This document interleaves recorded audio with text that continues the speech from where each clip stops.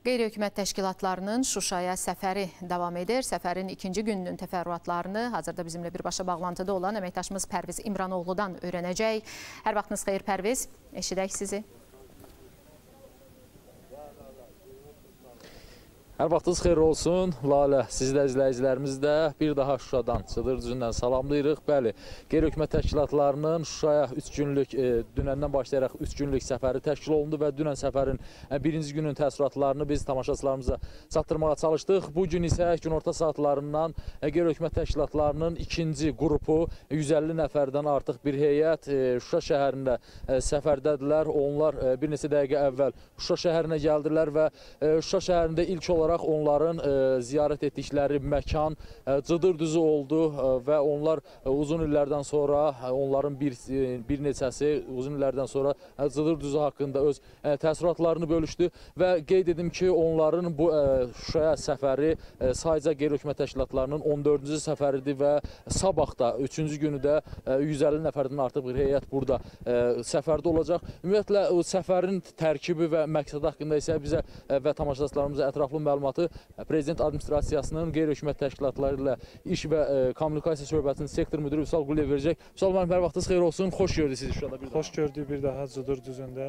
Qeyd elədiyiniz kimi artıq bu gün səfərin ikinci günüdür. Bu gün də 150 qeyri-hökumət təşkilatı səfərdə iştirak edir. Ümumiyyətlə bilirsiniz ki, bu mütəmadi əsaslarda e, bizim qeydilərin işğaldan azad olmuş ərazilərə səfərləri təşkil olunur. Artıq 13-cü səfərdir bu.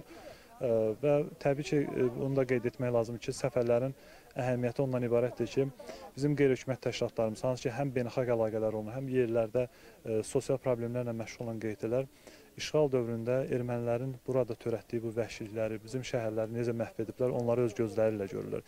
Eyni zamanda bu gün onlar Şuşada ölkə rəhbərliyi tərəfindən həyata keçirilən quruculuq, abadlıq işlərini öz gözləri ilə görürlər. Qeydilərimiz həmişə ictimai nəzarət həyata keçən bir təsisat olaraq bu məsələlərdə çox fəal şəkildə təşəbbüs göstərirlər. O baxımdan onların bu istəyi gerçəkləşir bu gün.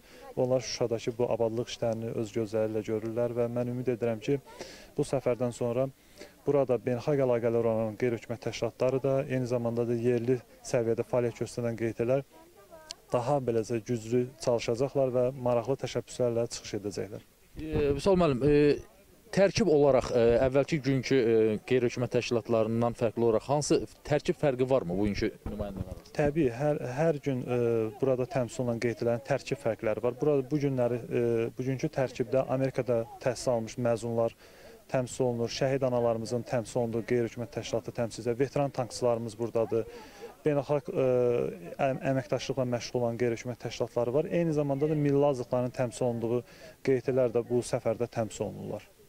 Təşəkkür edirik e, ətraflı məlumat üçün. Bəli, e, ilk qeyd etdiyim kimi ilk olaraq e, səfər Şuşadan, Cıdır düzündən başladı və növbəti dəqiqələrdə isə onlar digər tarixi məkanlara baş çəkəcəklər və işğal dövründə ermənilərin tarixi, mədəni, maddi irsinə Şuşanın, ölkəmizin vurduğu ermənilərin törətdiyi soyqırım barədə onlar tanış olacaqlar, öz gözləri ilə görəcəklər və bununla da qeyri-hökumət təşkilatlarının ikinci qrupunun Şuşaya səfəri başa çatacaq çatacaq və sabah növbəti gün 3-cü qrup 150 nəfərdən artıq bir heyət e, Şuşada olacaq.